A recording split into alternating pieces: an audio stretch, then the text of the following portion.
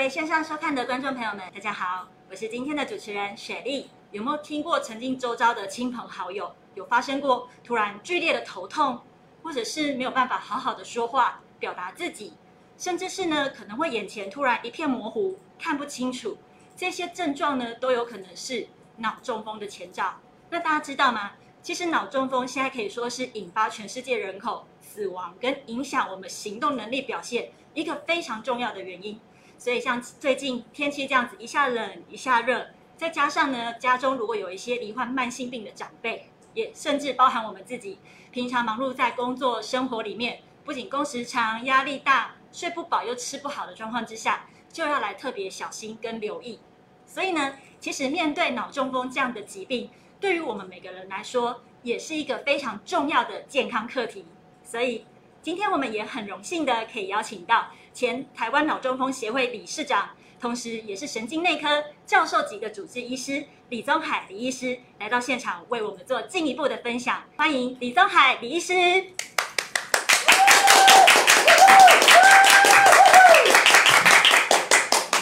医师李医师好。哎，你好。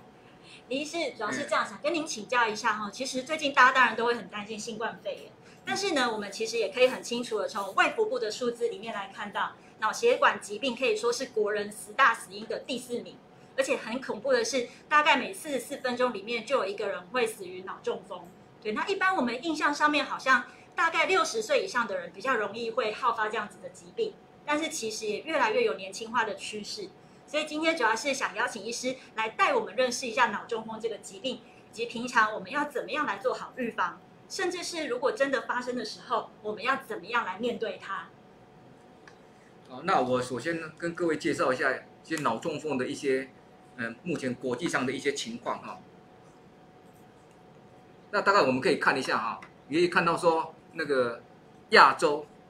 非非洲、北美洲哦，大洋洲也是澳洲。那一般我们都是跟那个白人比，你可以看到说亚洲的颜色比较深，也就是表示说它每十万人中风的发生率比较高。那你可以看到北美洲，也就是那个白人呢，像美国啦、加拿大，甚至说澳洲、大洋洲，它的颜色啊都是比较浅。所以从这个我们可以知道说，其实脑中风是亚洲人主要的疾病。哦，在北美、在澳洲，白人他中风比较少，他反而是心血管疾病的机会会比我们黄种人还高。那接着我们可以看一下，啊，死亡率，中风的死亡率，你可以看到中国大陆哈，中国大陆人他们时常说，他们这个大陆就像一只鸡，啊，那这个鸡的颜色还是比北美洲、比澳洲哦还高，也就是表示说，在中风来讲的话，不管是发生率还是死亡率，都是亚洲人比较主要。尤其是黄种人，那身为黄种人的我们啊，所以就应该更好好的注意去照顾啊我们自己的身体，来预防脑中风的发生。那我们可以看哈，你这个台湾地区十大死因的改变，在一九八二年之前，脑中风是十大死因的第一位，但是从一九八二年以后就变成第二位，哦，就次于癌症。二零零七年以后变成第三位，二零一六年以后变成第四位，所以我们时常脑中风的那个会员，我们时常说，我们其实对台湾的贡献是非常大，哦，因为我们让脑中风的死亡率在降低，哦，表示说我们的作为是非常有成就感，但是呢，我们还是要好好努力了啊，因为中风其实它是造成身体的残障。最主要的一个原因，啊，不像说你那个心肌梗塞或是心绞痛，各位你可以看到李登辉，他心脏放了支架，放了几个支架，他还是可以走来走去。但是你看看孙运璇，他脑中风以后，他就终身需要人家照顾，哦，所以这个很大的一个差别。我希望各位能够记取这个教训，哦，预防脑中风的发生。那医师想请教一下，我们平常怎么样呢？要来知道说自己是不是所谓的高风险的族群？那我们可以看看啊，这个时代哈，其实中风，它一个应该是比较是老年人的病，哦，那跟动脉硬化会比较有关系。那动脉硬化它是一个全身性的问题，你今天脑里面的血管有动脉硬化，你心脏有动脉硬化的机会也比较高，你周边血管动脉硬化的机会比较高，所以你可以看到，你第一次就是说初次发病的种类是中风的话，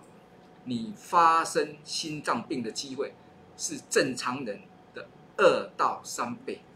你再发生中风的机会是正常人的九倍，你发生心肌梗塞，你再发生心肌梗塞的机会是正常人的五到七倍，那你再发生中风的机会是正常人的三到四倍。所以说，你发生的中风或是心肌梗塞或是其他的血管性的疾病，你都要全身性的注意。而不是单单只注意那个区域，所以，我们对于中风的患者，我们时常会给他也要注意他的心脏，也要注意他的周边血管是不是有问题。这样子的话，才能预防他其他的器官的血管发生问题。那医师，我们有没有办法，就是先透过一些症状来稍微了解一下，哎，自己是不是有可能罹患了脑中风？那我们可以看哦，下面这个时代啊，急性脑中风的可能性。各位，你要注意哦。这个每一个症状，我们都给你写的，突然发生，突然发生，哦，所以中风是突然发生，中风不是说哦，你慢慢慢慢来，比如说你突然发生头晕、不平衡及走路困难，突然发生一眼或两眼的视力模糊，突然发生不明原因的头痛，刚主持人有谈到头痛哦。头痛，中风发生的时候有头痛，大部分都是脑出血会比较常见啊。那突然发生意识障碍、语言的表达困难啊，或是说理解困难啊，那突然发生脸部或是手脚半边的无力或麻木，这些都是中风的症状。但是最重要就是突然发生哦，你不要像我们有些病人说哦，我这个手麻麻了很久嘞，是不是中风啊？哦，那这个就不太像是中风哦，所以各位你要知道说，突然发生是一个很重要啊。那为什么会说突然发生这个重要？你知道这个时间点，那你就有可能去尽早去给他治疗。那我们可以看一下哦，这个脑中风的类型哦，脑中风的类型一般来讲叫有分成，简单的说了哈，分成两个，一个是缺血性中风，一个是。出血性中风，那缺血性中风我们分成脑血栓、脑栓塞，还有暂时性的脑缺血。哦，那这个机转是不一样的啊。为什么我们会分分这样的机转不一样？啊，它当然还有更复杂的一些分类啦。这个可能是专门的医师哦。那我们会帮那个各位病患哦来给你做适当的检查，啊，适当的治疗，哦，来针对你的病因来检查及治疗。哦啊，所以你可以知道说，中风它其实它是有很多类型的哦。那你针对不同的类型啊，那你要知道说怎么样去处理，那你才能够预防哦中风的再发生。那我们可以看一下哈，脑中风的种类：脑梗塞、脑出血。那脑梗塞就是脑缺血哦，也就是因为血液的流量不足导致。组织坏死，那我刚刚有谈到，就是说有分成脑血栓跟脑栓塞啊。那脑栓塞一般就是心脏引起的中风。各位要知道，心脏也会引起中风，最主要是心律不整哦引起的中风。那脑出血来讲的话呢，啊，一般来讲的话，有可能是高血压性的脑出血哦，还有非高血压性的脑出血。那暂时性脑缺血，它是一个定义上的问题，也就是说，他的脑部有缺血，但是他在二十四小时以内就可以恢复，那个就是暂时性的脑缺血。那各位要问说，哇，那这样子你缺血出血，我们一般人怎么会，怎么会怎么知道？其实很简单，各位，你看看电脑断层摄影的图，哦，这两张电脑断层摄影的图哦，在各位的右手边下方。啊，你可以看最外面那一圈白白的，就是头骨，里面就是脑组织。我们脑部是讲求对称，嗯，那不然它就是在中间。那你可以看到说，你有一片是有一个白白的点，那右边有白白白的，哦，这在片子上面的话，哦，那个那个我们讲的右边是你你你现在你的那个左手边哦，这个是我们习惯上是这样子啊。也就是说，这边有个白点，一片白白的，就是出血。哦。那你再看看说，你的右手边那个片子，一片黑黑的，就是缺血。哦。所以其实很容易，你就做一个区分。哦。你用电脑断层摄影，你就可以做一个很好一个区分。哦。那你要怎么知道说，那个像有时候你你去看病。你做的电脑断层摄影，那医生会说：“哎，你以前有中风过，哦，那为什么他会知道？哦，各位，你不管是缺血或是出血，它将来都会在你的脑部留下一个疤，哦，按照这个疤，你可以看到说这一张电脑断层摄影，哦，外面一圈白白的是头骨，哦，那我这边有写右边、左边。”这右边就是陈旧性的脑缺血，那左边是新发生的脑缺血，所以你从这个片子你就可以知道说，旧的脑缺血，它后来就是脑组织都都坏掉了，它的颜色就可以跟我们脑室哦哦那那个脑室的颜色哦是一模一样，就很黑的，那里面都是水哦，水在电脑这里摄影是黑色的，哦，那你左手边这边的话。就是新发生的脑缺血，就是说它的颜色会比较相近于它正常的组织。嗯，哦，所以从这个你可以知道说，新中风、旧中风，为什么医生知道我之前发生过中风？因为我们可以从片子来做判断。那医师，我们刚好线上有一位康先生，他要请教。我们刚一直说突然跟急性，那这两者之间有没有相关性？比方说所谓的急性就是突然发生。哦，我们讲的急性中风，就是说你中风有分几个期，其实这个到后后面我们会讲到，中风我们可以分成急性期、亚急性、慢性期。哦，那我们讲急性中风，哦，你不管任何任何时期的中风，它一开始都会经过这个急性期，那急性期的中风一定是突然发生，哦，那样子。所以有一定的相关性。对，嗯，哦，那我们可以再再再看再看下去，说磁振呃核磁共振，或是有人翻成磁振造影。那磁振核磁共振，它跟电脑断层摄影的差别在哪里？电脑断层摄影它对脑出血的诊断啊会比较好，它在急性期我们就可以看到。嗯，但是对于脑缺血的话，它可能有个局限性，它可能要一两天以后，你才可以看到，哦，它的那个就是我们看到的那些，我们讲那个那个低密度的影像，哦，低密度的影像，就像说你看这个那个那个左手左手边这边，哦，右那个那个它的那个影像，你这个影像要看得到这样子新的发生的脑缺血的话，那可能要一两天以后，嗯，哦，你在早期的话，电脑断层摄影没看出来。那这时候，那这时候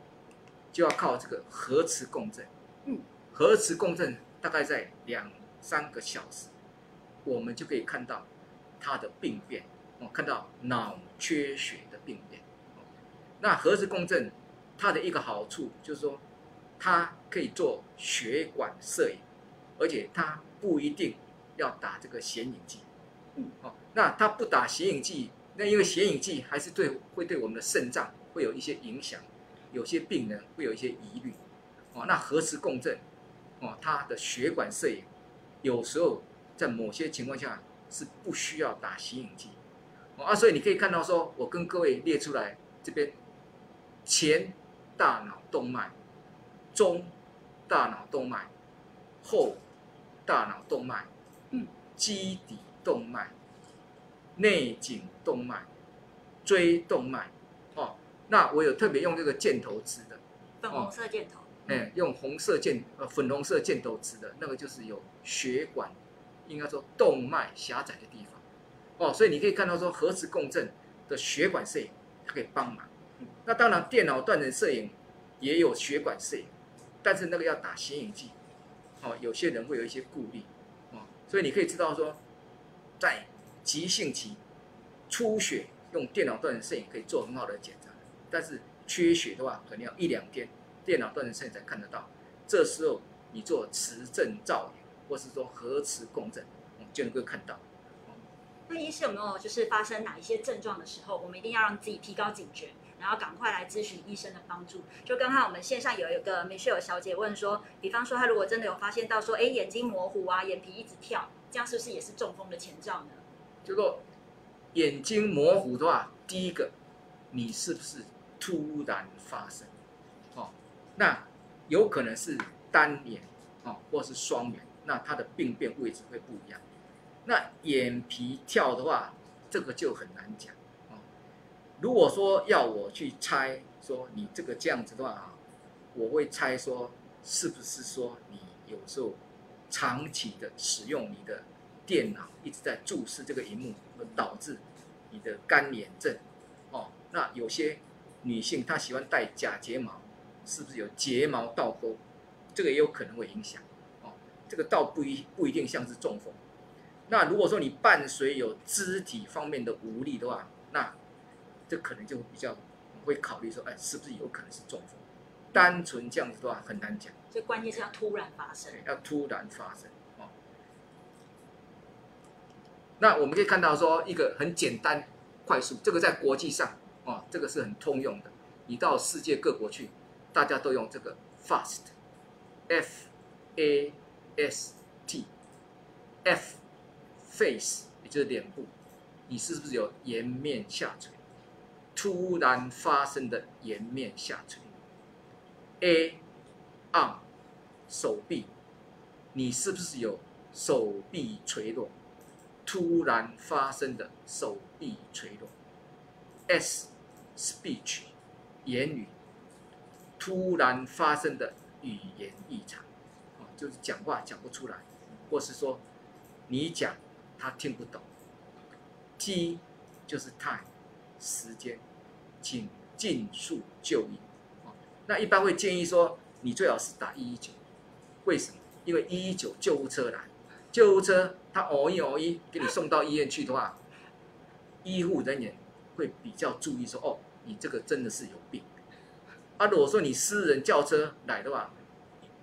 那个那个医护人员会认为说，哎，你这个是不是有没有什么特别的问题？不然你干嘛不叫救护车？哦，这个在国外有统计过，哦，有一些研究有统计过，打一一九用救护车送过来的话，那这些病人得到那个那个早期照顾的机会，早期照顾跟治疗机会会比较高。哦，所以建议各位打一一九，尽速就医。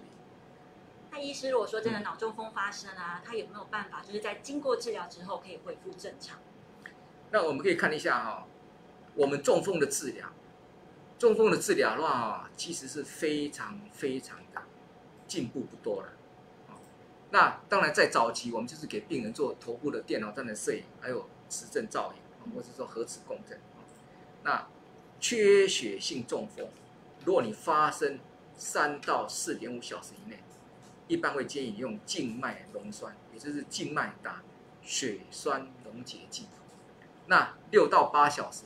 动脉内的机械性溶栓，这个是比较新，这个在最近二零一五年哦才开始，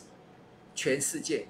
哦有共同的一个认识，说啊，我们用这个治疗可以延长中风、延长急性中风的治疗到六到八小时。那当然，在某些情况下。我们讲后循环啊，后循环，后循环就是椎基底动脉的中风的话，有时候甚至可以到十二或是到二十四小时哦。不过这个是需要医师的评估。那一般来讲的话，八小时又在早期早期，一般都是用抗凝抗血小板剂，抗凝血剂也是要等到比较后来，所以一般都是用抗血小板剂。哦啊，所以你现在在台湾。那个那个抗血小板剂也不多了，啊，顶多大概四种而已了，哦，那心脏内科会比较多抗血小板剂，对心脏的治疗有效，但是对脑中风的治疗，有些抗血小板剂目前来讲还没有一个临床试验证明说有效，所以大概比较常用的是四种，啊，那出血性中风大概分成两类，一个是高血压性的脑出血。那高血压性脑出血积极的控制血压，何为积极？二十四小时以内就要把血压降到一四零九十。哦，那你在中国大陆现在做的更积极，他们的临床试验，哦，是在整个中风一发生在救护车上面，他就给他控制血压。哦，那非高血压性的脑出血，那当然控制血压，那另外看说需不需要手术方面的治疗。哦，所以你大概可以知道说中风的治疗处置是这样子哦。嗯。那中风为什么可怕？哦，三分之一终身残废，甚至在天上哦，三分之一中度残障，哦，那就是需要你的照顾。所以你可以看时常看到说，在路面上有些人哦一跛一跛的走，那可能大部分都是中风，大部分都是中风。那只有三分之一的人，他是轻度的功能障碍，他可以回归社会，自我照顾。哦，所以你可以知道说，中风其实造成社会一个很大的问题，它造成家庭的负担，造成个人在生活上的一个需要别人的帮忙，哦，是一个很大的问题。哦，那医师，我们在日常的生活里面啊，有没有哪一些危险的因子，我们需要去特别注意，因为它可能会诱发脑中风的发生？那我们可以看哈，中风危险因子，中风的危险因子可以分成两类，不可以改变的危险因子，可以改变的危险因子。年龄，你超过五十五岁，你每增加十年，你发生中风的危险危险性是 double。男性中风。心血管疾病都比女性高，种族黄种人，我刚刚谈过，白种人是那个心脏疾病，黄种人是脑血管疾病。你先前有脑中风的病史，你再发生脑中风的机会是正常人的九倍。你有心脑血管病的家族史的话，你的父系有的话，你发生。脑中风的机会是正常人的二点四倍，你母系有的话，你发生中风的机会是正常人的一点四倍，所以还是男性的家族史会比较重要哦。那其他可以改变的危险因子，抽烟、饮食、生活习惯、酒精药物的滥用、肥胖，哦那颈动脉的病变，啊，颈动脉的病变。现在也是蛮发达的，就是你可以做支架的。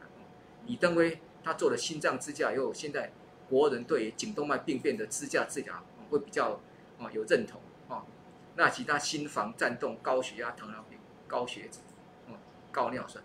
就是三高要控制，特别注意。那心房颤动就是心脏引起的中风，这个肯定要注意。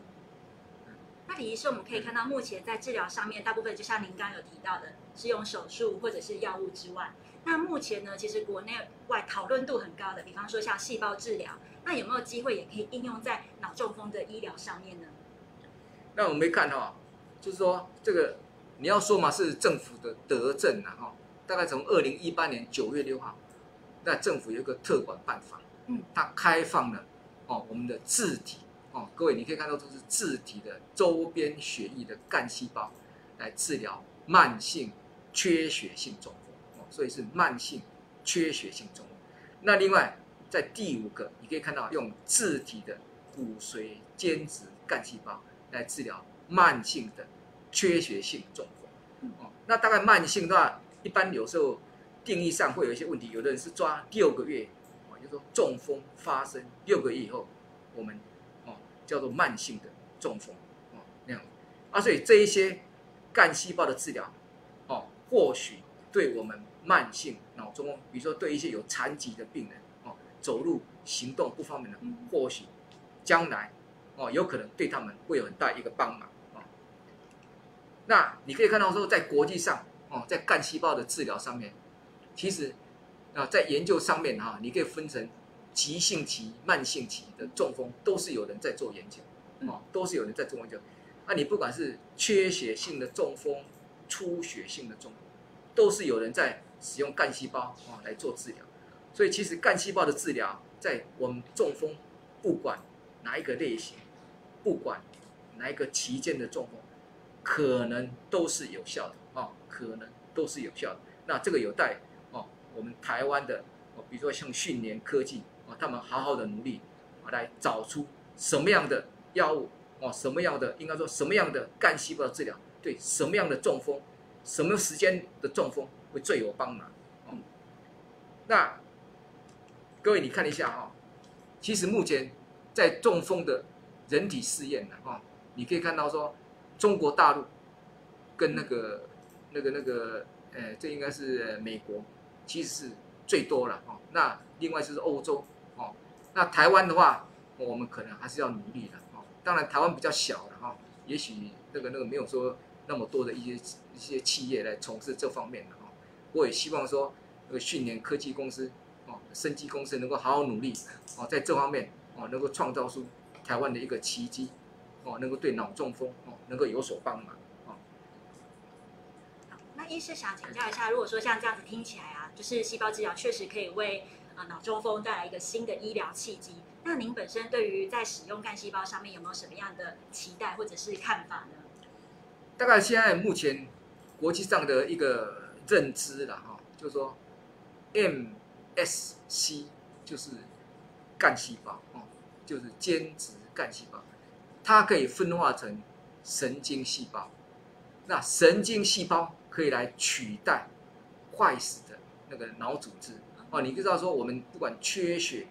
出血后，我们的脑组织都会坏死，那你神经细胞可以用来取代哦这些那个损伤啊，就是坏死的那个那个神经细胞，那或许可以帮忙病人哦，可以恢复他的神经功能。那另外这个 MSC 也就是间质干细胞，它可以分泌神经营养因子，那神经营养因子。对我们神经细胞的再生也是有帮忙的。那你普通来讲的话，我们中风它其实也是一个发炎的现象，嗯那会产生一些发炎的因子。那间质干细胞 MSC 它也可以抑制这些发炎的那个物质的产生，所以让你的恢复会更好。所以间质干细胞它可能可以分化成神经细胞。那它可以抑制哦你的那个发炎的物质，那它可以分泌神经营养因子，来达到帮助你恢复神经功能的目的。哦，那你可以看到说，干细胞在脑中风的功效，哦，那这个是一二零一九年所发表的文献。第一个，它有神经再生的功能；哦，第二个，它有转分化的功能；第三个。它可以有血管再生的功能，第四个，它有突触，突触其实也是神经细胞的一个突触的一个再生功能。那第五个就是它有免疫的调节的功能，哦，也是让你的发炎指数、发炎物质哦能够减少、能够降低。所以它有这些功效，哦啊，所以你要我们要怎么样去能够促进这些啊？物质这些功能的实现，那可能就有待啊我们的生技公司好好的努力。那意思这样听起来，其实细胞治疗啊，顾名思义，听起来细胞应该是一个材料。那如果说我们在选用细胞上面，有没有哪一些需要特别注意的地方呢？大概我们可以知道说，你越年轻哇，就像说这个人，你越年轻，你就恢复的越好，因为我们大概我们医学上有个名词叫做可塑性。哦神经的可塑性，那你细胞你越年轻，你的可塑性越高。啊，所以你如果早期储存你的干细胞的话，你越年轻的细胞，对你的那个一些神经功能的修补恢复会越有帮忙，因为它的可塑性高。那你越早期储存，那你越年轻储存的话，那当然这些细胞将来哦对你的帮忙啊有可能啊会比较好，不然等你老了以后再来储存，像我年纪这样子储存，我不晓得，也许可能就不太好了，所以大家可以思考看看。不会不会，一样非常好用。目前国际上面临床案例，有的先生他可能年纪七八十岁，用了自己的干细胞，他其实还是有非常好的修复软骨再生的效果。所以其实重点是在于我们刚刚在特管法上面，其实有看到，刚刚医师有秀给我们看，特管法上面它都有两个非常重要的关键，就是字体。对，所以我相信，其实在所有的医疗上面啊，不论怎么样，也不论年纪，很重要的关键就是自己，因为毕竟自己细胞自己来使用，一定会是最安全的。那今天也真的非常谢谢李宗凯李医师教授来跟我们做这么精彩的分享。那其实，在这样的讲座里面，我自己真的也跟教授学习好多。对，至少我知道此时此刻开始，我一定要自己从我的日常生活里面很扎实的做好一些健康管理的行动。对比方说，像我的饮食啊，要少喝一点酒啊，然后做好运动规划等等之类的，一定要现在就开始。那当然，更重要的是，我一定要做好自我健康检视这件事情。有任何的异常呢，我们就要赶快来咨询专科医师，对，这样我们才可以把握住所谓的黄金治疗的时期。对，那当然了，我刚刚很喜欢教授有两个用字，就是积极。对，我们也可以更加积极的来照顾我们的健康，就是趁我们在年轻的时候，对，可以在我们的活力充沛的时候，把这些好的细胞资源先储蓄下来。那未来呢，在有任何医疗需求的时候呢，比方说像脑中风所引发的这些后遗症。导致行动上面的不方便，组织或者是器官的缺损，我们就有机会运用自己的细胞来做好修复这个工作，来帮自己呢争取多一项新的医疗资源。那当然很重要的是储存干细胞这件事情，真的就像教授刚刚提醒我们的，要趁年轻就把它规划起来，真的能早就不要晚。那今天再次谢谢谢谢教授来到现场，给我们做这么多的医疗新知，还有健康方面的分享。那也邀请线上的朋友们，我们一样用刷满爱心的方式来谢谢李宗海李，医师。